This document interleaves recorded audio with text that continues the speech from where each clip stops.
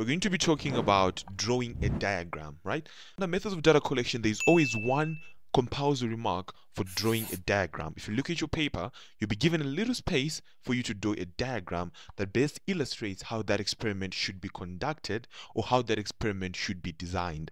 So firstly, you see a space to draw a diagram, like I mentioned. I would highly recommend that you first list all the methods of data collection first, and then you draw the diagram later. So if you're writing your paper, rather I would say define the problem, write the methods of data collection before you talk about the diagram first. Because I think you, if you draw the diagram last, you have much more of a clearer picture as to what the question um, is actually about. And you can therefore be able to draw a very reasonable diagram. Um, so there's some common tricks that we will also talk about, and you should be mindful of that. Remember, not everything should be drawn. I don't see the reason, for example, to draw a calipers, right? That doesn't really make sense to me, but other things you can include. So let us walk through a couple of examples so that you see how can you think, put yourself in my frame of thinking when I see a diagram that needs to be drawn, how exactly do I think or structure that? So first example is May uh, June 2016 question paper 5.2, an inclined plane problem.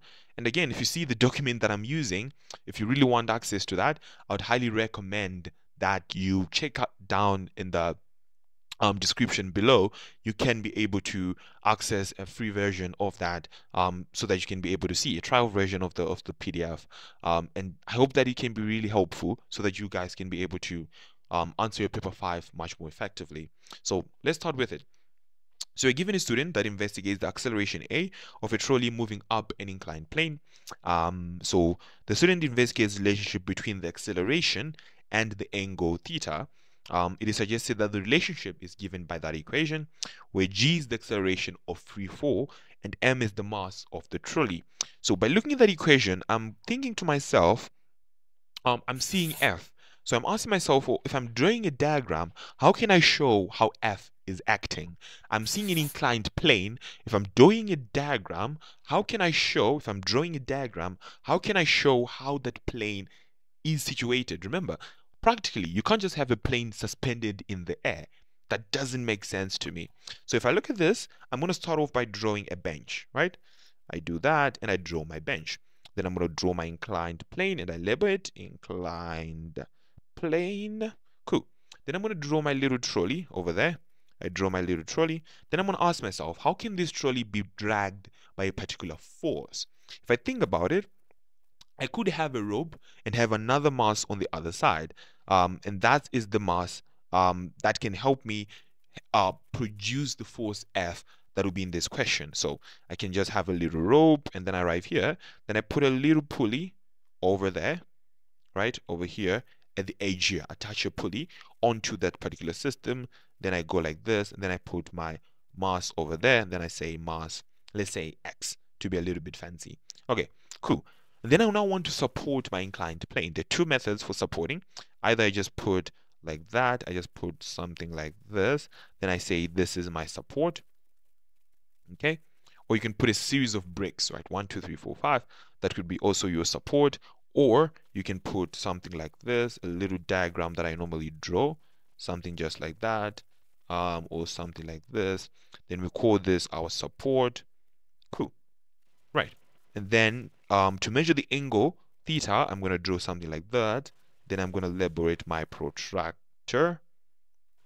And that'll be it. That's the diagram that I need. If you look at the marking scheme, they just want a diagram of showing inclined plane with labeled support. Um, and you should have some vertical support to do that. And that's all they need. This is literally the only marking point that appeared in this question for the diagram. So please do not overthink this. Draw a simple diagram that showcases everything that you're going to need. Let's do another example so you see that you don't really have to overthink this, right? Um, winter 2015 question paper 5.3, a simple temperature experiment. You're given a beaker containing water and um, some metal bricks that are present as well. So you have those metal bricks, and the student is using an electrical heater to produce a particular temperature increase it is suggested that the electrical energy supplied to the heater is related is related to the mass m of the metal blocks uh, by the above relationship. So I'm asking myself, I'm seeing a heater, how can that heater get power? how can I be able to get electrical energy to power that particular heater? So what I'm going to do, always when you have diagrams, is imitate the original shape or the original diagram that you have initially. So in this question, I start again with my little bench like that. Then I draw my bow like that. Then I put my little blocks inside. Then I put my heater like so. So the moment I put my heater, I'm thinking to myself, to get electrical energy is VIT. I'm going to need V, I'm going to need I. So I need to draw some setup that has a power source, number one. Number two, a way of measuring the ammeter reading so that I can get the current. And number three, the way of measuring the voltmeter reading so that I can get the voltage. So if I try to connect this system, I can just go up and up and just put, let's say a switch, for example, to make it a little bit fancy. Um, then I put my DC power source, I label that DC power source. And then I put my ammeter over there so that I can measure the current in this system. Um, then if I go there, I put my voltmeter in parallel. Um, then I go there, I can put a variable resistor to be fancy again. I label that variable resistor. Um, the whole point is that so that I can keep everything constant. If I increases, I can change the resistance and all of that. Um, but you don't really need to include it, um, really. Then I connect that, and then that's it. So that's the circuit that I'm drawing to measure I and V. And I'm including it in the diagram because I'm thinking to myself, how can I create a workable diagram that showcases how the heater works? I can't just leave the heater alone. I have to show how can the heater actually work in this question. Then I put my liquid over there. Then I put a lead, for example, to improve insulation. And then I need to include a thermometer to actually measure temperature. So I draw my thermometer in, and then I include a stirrer if you want to be fancy as well. Stirrer just basically helps you stir the mixture and to ensure uniformity um, in the temperature. So you're seeing that the way I was able to solve this question was really just relying on the knowledge and the skills that I have um, for temperature questions. If I see a newer temperature question where I'm heating the water, I know for a fact. Start with that, draw the lead, uh, put the thermometer, put a voltmeter, ammeter, switch, and all of that, liquid, and label every single thing. Remember, every single thing must be labeled. The common mistake I see students make is they don't imitate number one what they were given in the original question.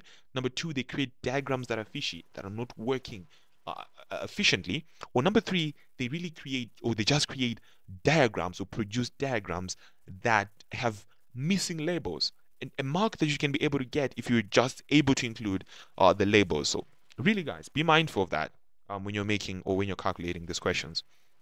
Um, another example, I'm just now going to showcase this one and not really go through the process, but it's from Winter 2010 question paper 5.1 right? You're given um, a student investigating uh, sort of electromagnetic induction, how the EMF induced in one coil varies or, or, or, depends on the frequency of current in another coil.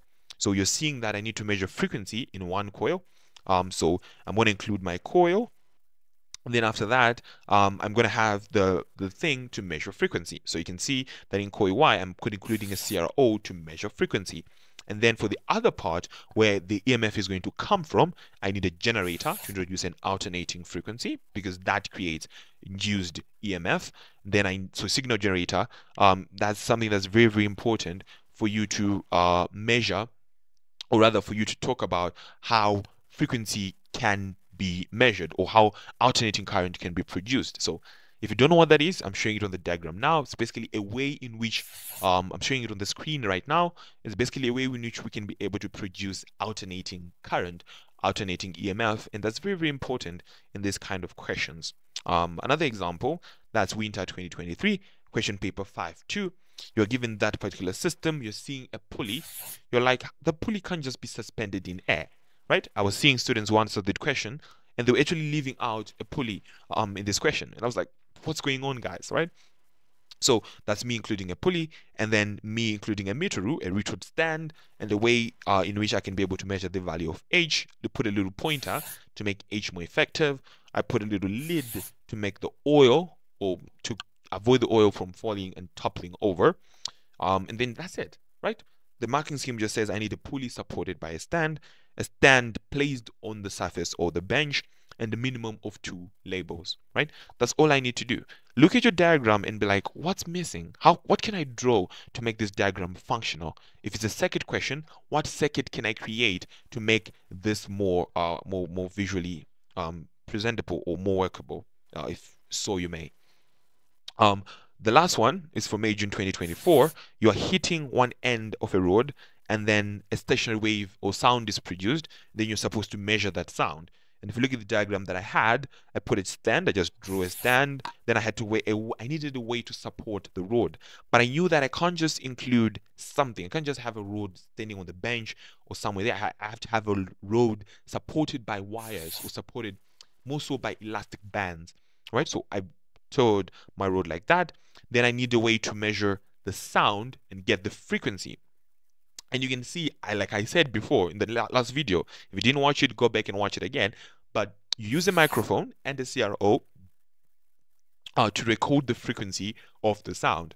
So I use that and I use a little cone to ensure that the sound is directly filtered or goes down through that and goes to the microphone or goes to the CRO, right? Then you have a wooden block um, that's there to just support that cone, right? So you don't have to overthink it. Again, this one, all they needed was a rod supported by a string, a clamp attached to a stand, um, and two labels that represent either a hammer, a microphone, a clamp, a rod, or the string itself. So the trick with these questions, drawing a diagram, as, as we'll be concluding method of data collection, is number one, start by listing how you're getting each variable. What equipment are you using to calculate that? And number two, draw the diagram that's going to help you be able to solve these kind of problems. Now, I hope you can do diagrams a bit better. The trick is practice. Keep on drawing these diagrams and you become better at solving these kind of problems. Check out also examination reports. They tell you in depth what some students included, what other students didn't, and see how alternatively some diagrams could have been structured. Um, you should be able to access them. I put a link um, in the description below that's a very good resource where you can be able to access papers and the examination report. Love that website to death. That's the whole point, right? Under this, you should be able to get four or five marks on a method of data collection, which concludes the second part of our video series. What you need to do, don't overthink it. Draw a workable diagram. If it's a ruler, put it. If it's clamped, do it. If it's a, uh, a pulley, what's supporting it? If it's an inclined plane, is it supported? If it's a heater, what's the circuit showing it? If it's electricity, what circuit are you putting? If it's sound, do you have a CRO? If it's frequency of a magnetic, for example, magnetic field, do you have a signal generator, for example, that helps produce an alternative EMF to begin with? What are you doing? That's the whole point of uh, drawing the diagram to help the examiner better see how they could or how the question could have better uh, been structured. So that's basically it, right? And in the next uh, video, which I highly recommend that you check out, which is the third part, we're going to be covering method of analysis. So please check out that video. Thank you guys for watching this one. I hope you can now be able to draw diagrams a little bit better, and I'll see you guys in the next one.